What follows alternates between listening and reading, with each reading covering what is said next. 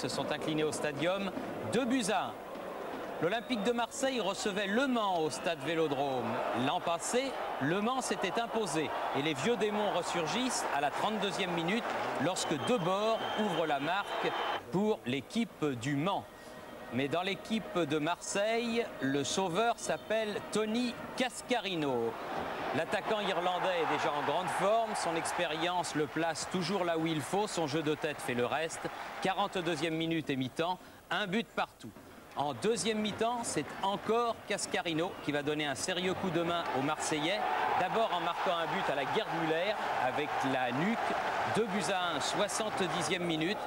Et à deux minutes de la fin, celui que l'on appelle maintenant là-bas au stade Vélodrome Cascarengue de Marseille va marquer un troisième but. Cascarino 3, Le Mans うん。